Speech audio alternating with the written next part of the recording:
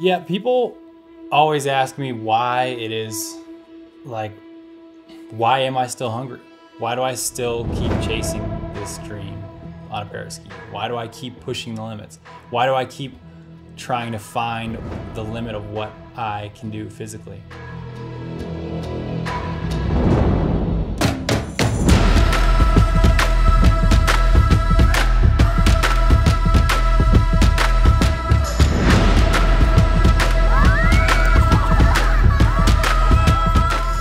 Wise is the most complicated person I've ever met in my life. he is everything and all things to all people, and it fascinates me. He's a husband and my best friend. Um, he's a best friend to so many people that he doesn't have enough time for everybody. He's a brother, he's a son, um, he's an excellent father, he's an author, um, he's a bow hunter, he's an archer, he's a fisher, he's a lover of life. Um, he's amazing. I don't really approach skiing from, or life necessarily from, how many more medals can I win? How many more titles can I put behind my name? I'm just out there to see what I can do. Uh, I'm passionate about finding the limits, uh, my own personal limits, finding what what's next. So that day, uh, I was just trying new things, trying new tricks, trying new uh, styles of rotation, and kind of goofing around, but I was just enjoying myself. I think because I do so much skiing, I almost forget the risks that are involved. Um, it becomes commonplace, it becomes day to day, it becomes uh, something that I just do and don't even think about. And what I didn't realize before that moment happened was that I was taking an unnecessary risk in hindsight, I look back and I'm like, man, that was not that smart. I really could have done that a lot better. I could have been a lot smarter about that. But in the moment, I was just enjoying myself and trying something new. Unfortunately, on that day of my life, like like in many other people's circumstances, that one moment decision uh, changed the trajectory of my life forever.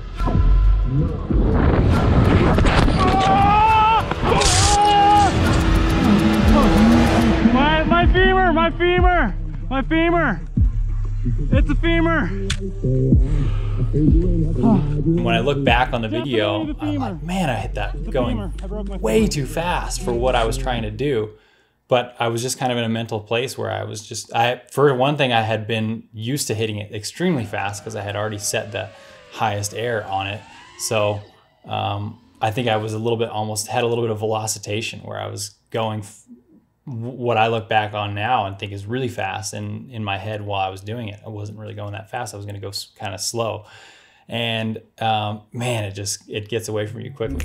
That was so dumb. That was. You don't. You never get hurt doing something smart. Yeah. I was gonna go small, catch the tranny, just got booted, came down weird, and just. I should have just collapsed. I should collapsed on the landing. The vibes were up. It was competition day, last day of the week. We were going home the next day, so it was really nothing. Felt like nothing could really go wrong. It was all over. David did the record, and it was awesome. We popped off our skis and we were about to walk up the hill to watch David and Malachi. I've never really seen him have so much urgency in his voice. He was like, "Mommy, mommy, I have to tell daddy something." And you know, the sleds are right there and all the people and they're about to take off and I was like, you know, oh my goodness, what do I do? This little boy is so passionate about this. How do I tell him no? And I just saw a window of opportunity and I said, okay, and I flagged David down and we stalled the cat for just a moment for Malachi to go talk to David and he ran up to David and he was like, Daddy, I just want to let you know that I love you. And it was powerful to me in that moment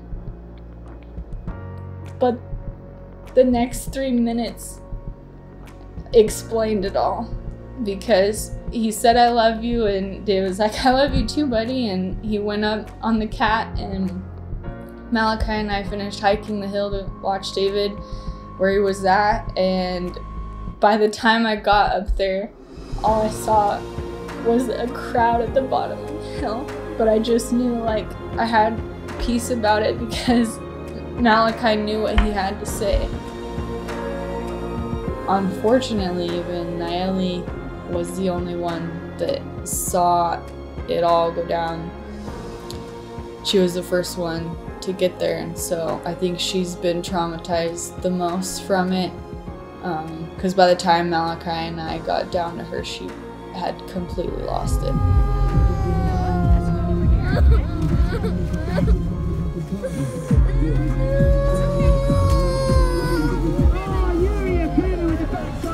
I think David took my first priority and I wanted to be there for him, but I know that my second priority is a mom and I didn't even know how to console her.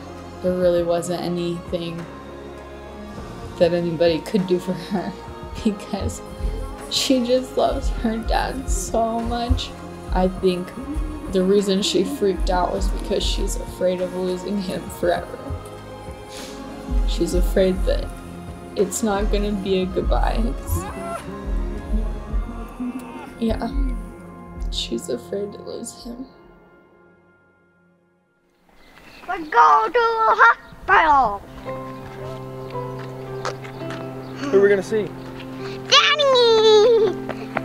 The most interesting thing I discovered through the whole experience was that um, when you're in a foreign country and you take a helicopter to the hospital, the biggest challenge is actually loneliness.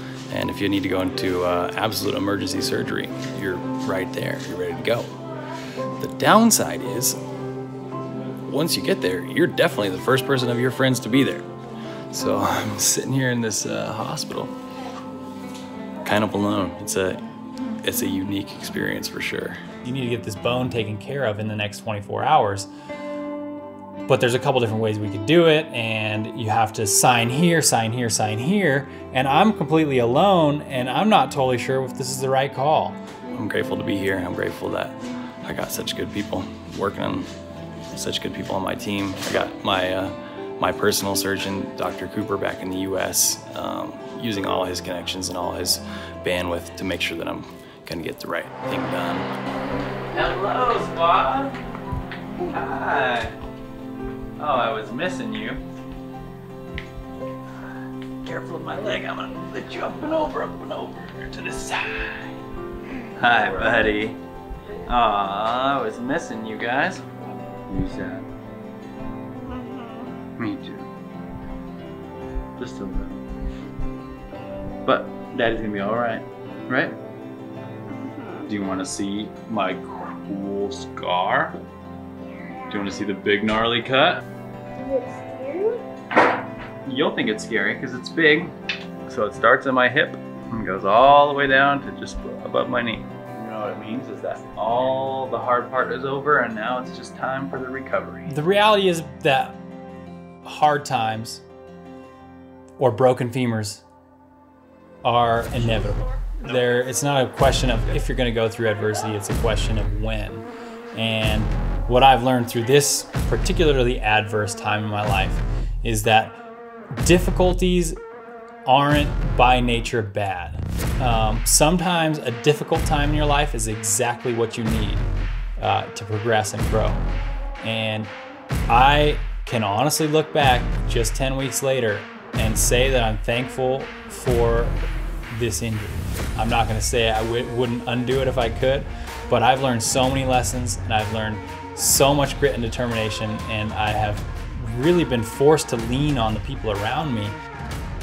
If things continue to go well, as they have been going, uh, with no major setbacks or uh, difficulties, this injury should actually not even affect my ski season. Now, that being said, it's going to be a long, difficult road to get there.